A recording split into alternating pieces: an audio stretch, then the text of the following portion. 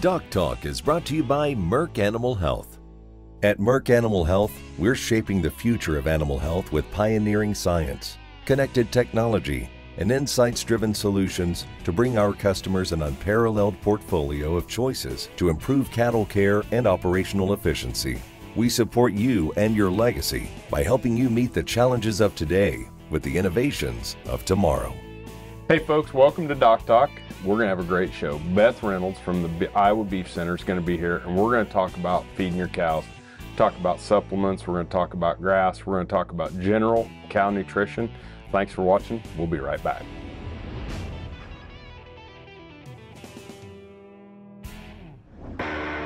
When you spot BRD in your cattle, that's your golden opportunity to target infection and its associated fever with a single dose of Resflor Gold, the industry standard dual therapy.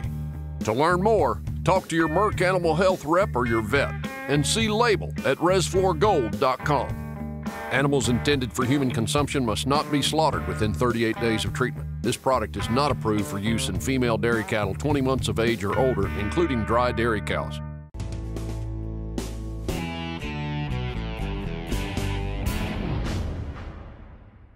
Hey folks, welcome to Doc Talk. I'm Dr. Dan Thomson, and with me is Beth Reynolds. She's a program specialist for the Iowa Beef Center.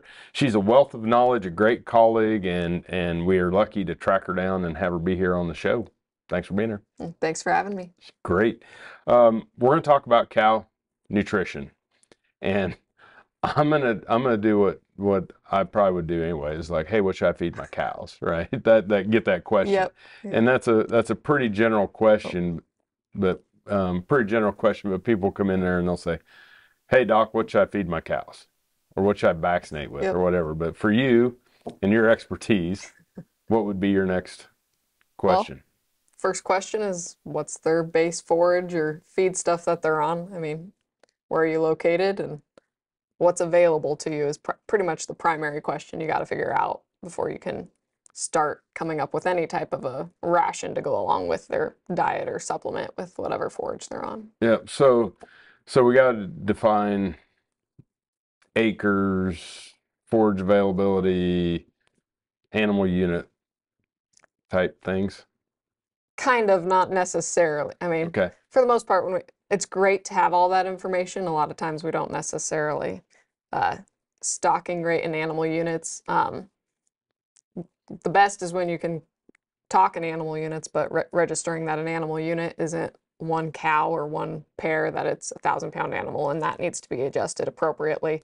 Um, kind of where you're at regionally kind of varies in what the standard language is, but that is the best measure. But and when somebody comes and asks, what do I need to be feeding my cows or how do I need to supplement them? Biggest thing is like, what are they on? So are you, do you have corn stalks available, baled, grazed? Are they on some summer pasture? And then you start working into, okay, what's the limiting factor? I mean, how, how long do you think you'll have grass um, where that can be their primary feed? Or are you trying to stretch it if it's a anticipated drought year? Corn stalks, how long have they been out there? Are they needing to have a little extra supplement on there because they've already been on that corn stalk field for 30 days and are running out of the goody a little bit? But Yep. So beyond the what I have in the field, then I'm assuming the other questions would be surrounding the the critters, the cows. yeah, well, very good point. You're saying feeding the cows, I'm assuming this time of year, a late gestation animal, but uh, really need to clarify what stage of production are they in? What's their expected empty body weight, or meaning are they? A lot of people say 1,200 pound cows. In reality, a 1,400 pound cow is easily the standard, if not more than that, especially in the Midwest. Uh, but when are they expected to calve? What's expected of that cow and her performance measures going forward? So Yeah. makes a big difference. Well, it used to be. At least at least we're getting to expand that now we have 1,200 pound cows because it was always everybody had a thousand pound cows. Well, yeah, there's the- until you weighed them, right? yeah, and and so I I think you're right. So so anything else besides you know defining the cows, their weight, their stage of production, or or the what's available? Also what uh, supplement options are going to be available for you Sure. is do you have whole corn in the bin great are you going to be going to a co-op really close to an ethanol plant that'll make a big difference in what feed stuff is going to fill your limiting nutrient the most economically When we come back, we'll talk about when we get some of those answers uh, and some of the recommendations. You're watching Doc Talk. Thanks for joining us.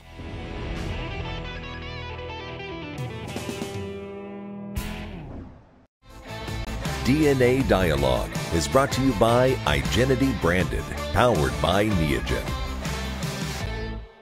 So traditionally, buyers of feeder cattle have been operating with very, very little information when they go out to make those purchases. So they might know the hide color of a calf, they know the average weight of the lot, um, they maybe know a little bit about whether it's gotten a vaccine if they're lucky. But other than that, the, the buyers of these cattle assume a lot of risk because they're really just flying blind when it comes to the, the genetic potential of these calves, how they've been treated, um, sort of what all has gone into that calf to get them to that point. The, the advantage to value added programs and verified programs, whether they're through genomics or health protocols, is they give that buyer more confidence that they're investing their money in a, a product that's going to pay, in a calf that's going to pay at the end of the day. So um, th- this could be having information about an animal's genetic potential. Um, they're much more confident when they know something about that animal's genetic potential, that when they put that calf in the feed yard, they put that calf on the rail, that the phenotype that that calf expresses is is ultimately um, what those those genetic tests might uh, might have said. So.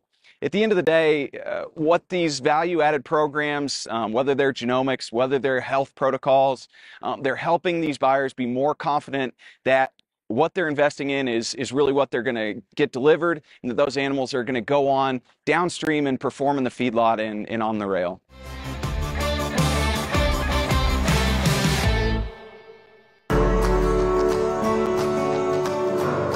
We know how expensive it is to keep and maintain heifers. What is also the fallout of those heifers if they're not the correct ones you're keeping and maintaining? We want to do as much as we can to get it right before we spend the money to impact our herd further down that road and keep successive females out of the wrong type of females. Igenity Beef. Contact your Neogen territory manager to test today.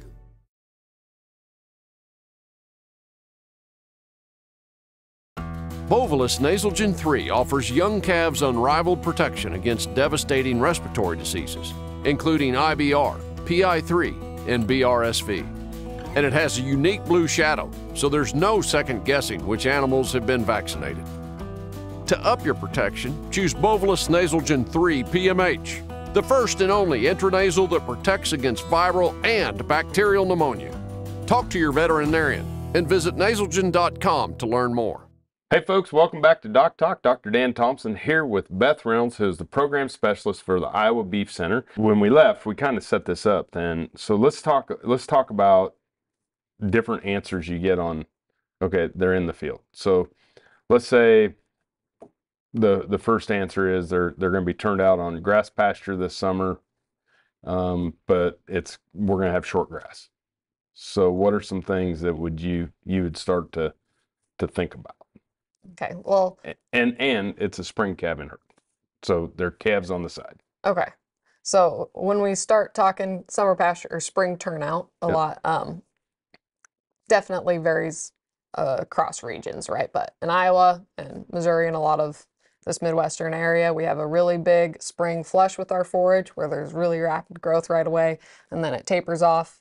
We have our summer slump because they're all cool season or the cool season base, anyways, in our perennial pastures. And then uh, in the fall, we'll get a little bit of a growth, but not near what our spring flush is.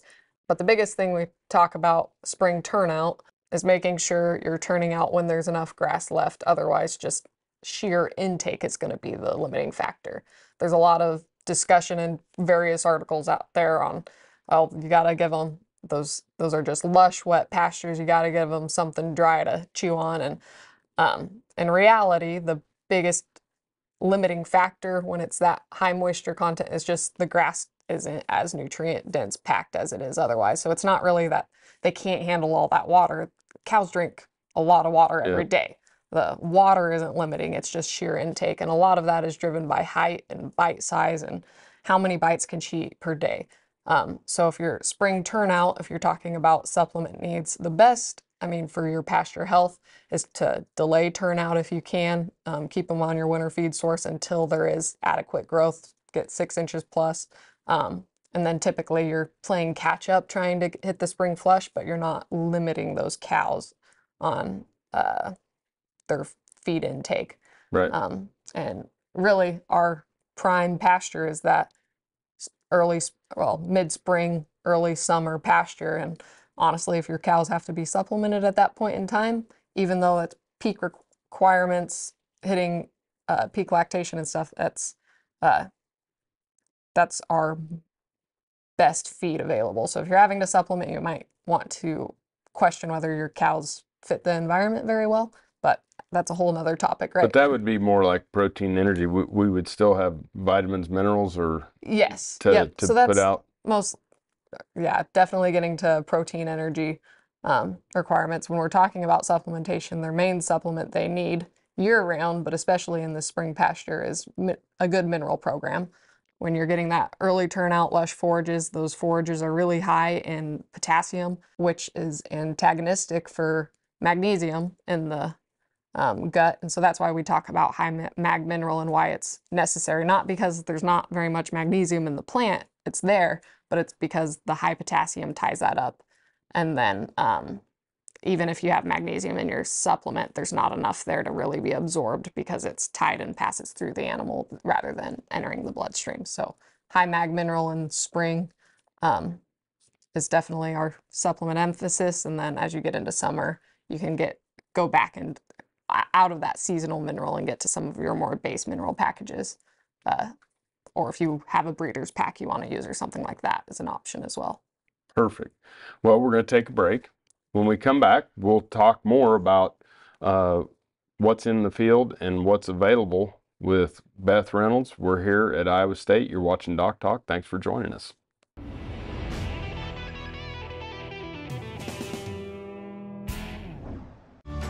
Success in the cattle business hinges on a lot of different people playing their part. From the vet to the cowboy and the nutritionist to the feed truck driver, you rely on them to get their job done right, and so do your cattle. Your expectations for the vaccines you use should be no different. Bimeda's cattle vaccines were developed and are made and sold by men and women in the cattle business. No smoke and mirrors, just real world protection that you can rely on. Go to bimedabiologicals.com to learn more.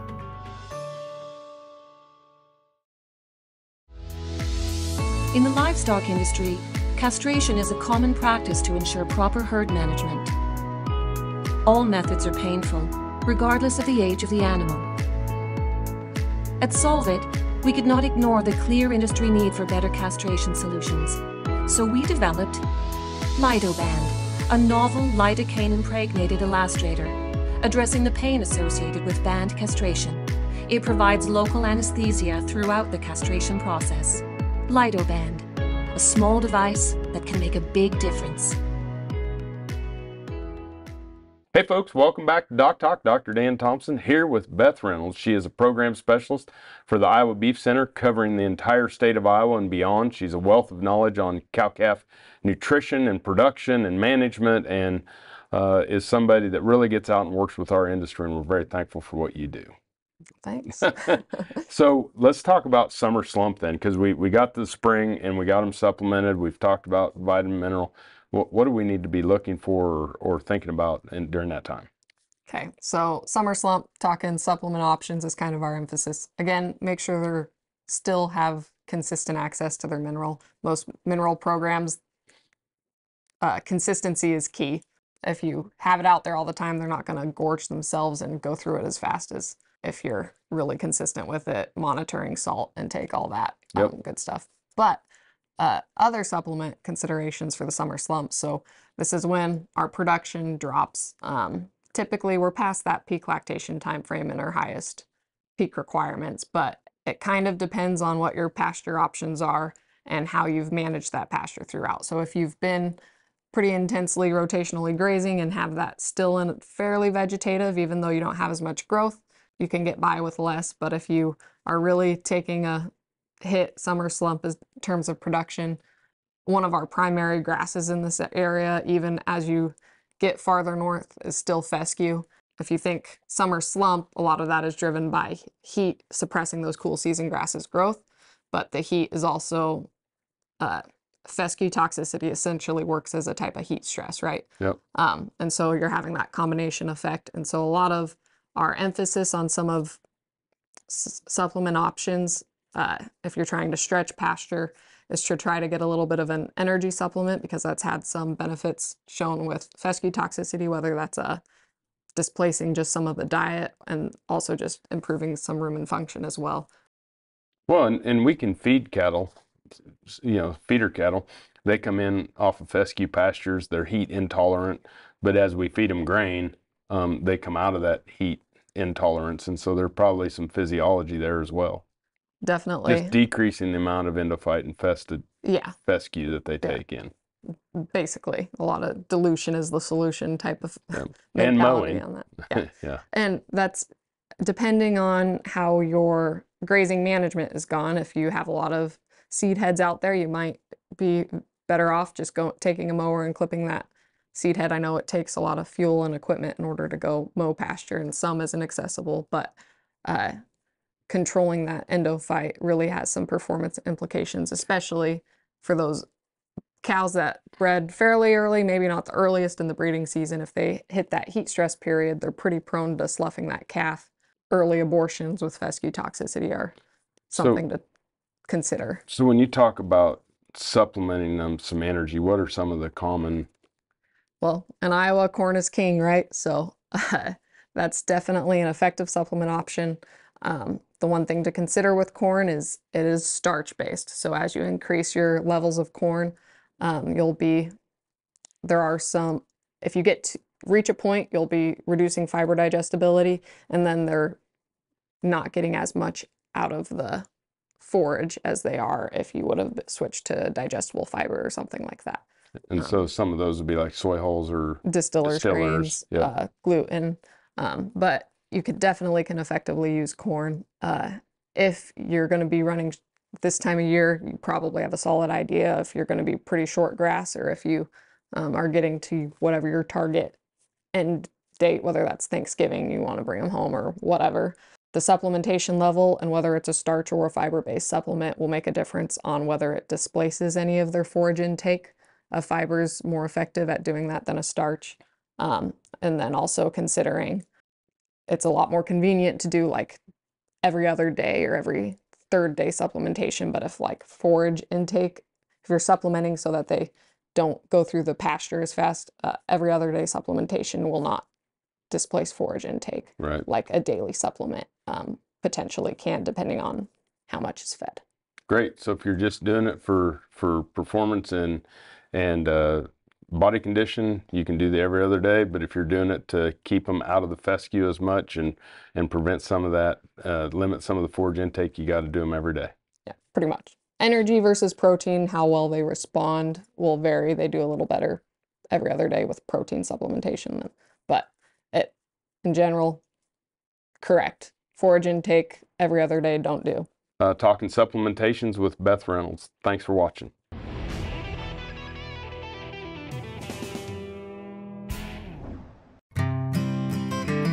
The cost of an open cow these days very expensive. It's hard at times to dedicate a half a day or a whole day to leave your practice to go palpate cows. And so Alertys Test has helped speed the process up of getting preg rates back to the owners. And so free up time for diagnostics or working in your clinic. It also will help generate revenue, not being on site to do the testing. When a new calf hits the ground, the clock starts ticking. A belly full of colostrum gives them their best chance, but if they don't get any, time starts running out. That's when you grab a bag of Oxford Ag Colostrum in their patented feeding system. It's simple. You fill it with warm water, shake it to mix, feed it with a tube or a nipple, and you are done. No bucket, no bottle, no mess, and right on time. Ask for it by name wherever animal health supplies are sold.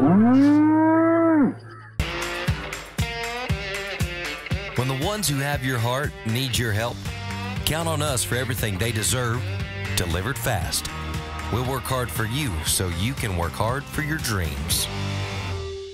Hey folks, welcome back to Doc Talk. We're here at Iowa State University where I'm here with Beth Reynolds. She is a program specialist for the Iowa Beef Center. And if you haven't seen the Iowa Beef Center's website, you should go to it. It's incredible wealth of knowledge. And this is somebody that's put a lot of content into it, uh, as well as answering questions around our state on cow calf nutrition production and different things uh, to that. But we've talked about spring and the high mag uh, supplementation because of, of it getting uh, tied up. We've talked about summer slump and our grass going down, extending uh, grass, um, you know, and, and different ways to supplement with every day versus every other day, depending on what your goal is of why you're supplementing.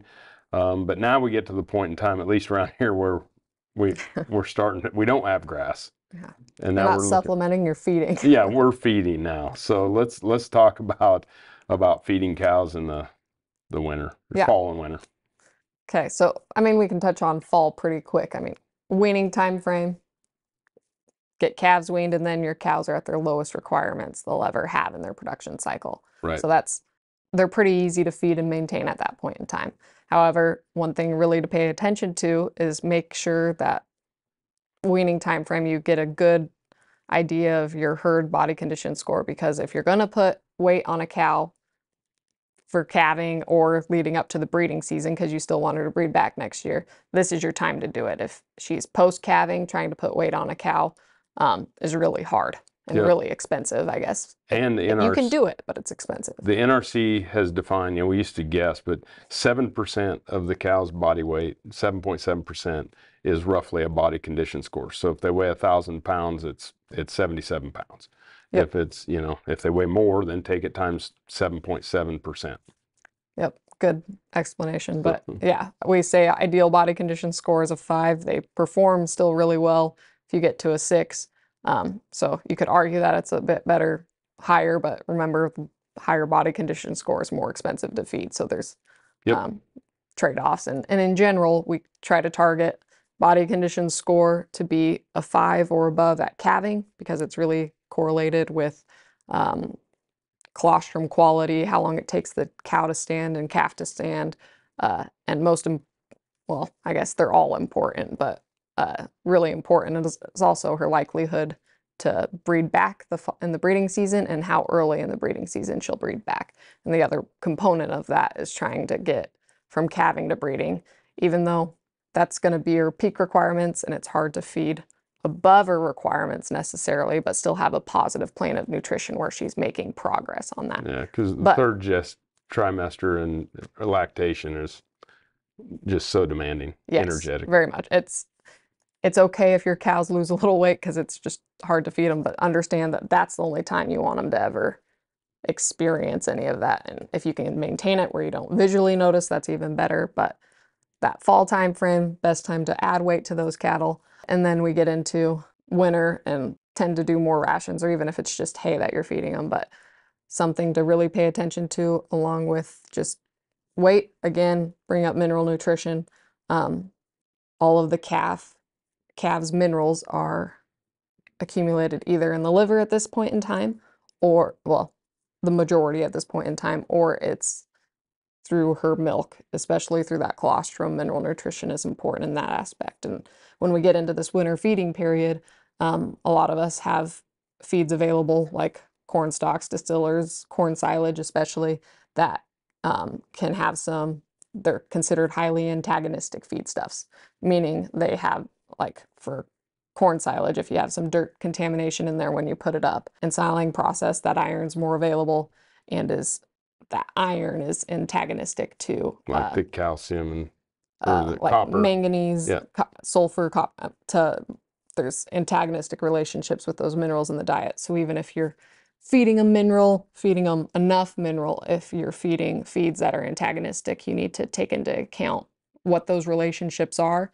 and if you need to boost certain minerals in that time frame to account for that. But making sure she has enough in her um, her diet because she's setting the calf up for that early health period too because it's not that calf's not going to be getting any minerals from anything other than what she puts in at that gestation time frame and then from its from her milk but those and that a lot of her milk supply is those macro minerals or like calcium magnesium um, and that earlier time frame it gets to some of those micro minerals so um, mineral is a whole can of worms but um, in terms of feeding the cow late gestation is probably your most critical time to make sure you're meeting her requirements for Perfect. mineral. Uh, remember, always work with your local veterinarian and nutritionist. Uh, if you want to know more about what we do at Doc Talk, you can find us on the web at www.doctalktv.com. I'm Dr. Dan Thomson here with Beth Reynolds, and we'll see you down the road. At Merck Animal Health, we're shaping the future of animal health with pioneering science, connected technology, and insights driven solutions to bring our customers an unparalleled portfolio of choices to improve cattle care and operational efficiency. We support you and your legacy by helping you meet the challenges of today with the innovations of tomorrow.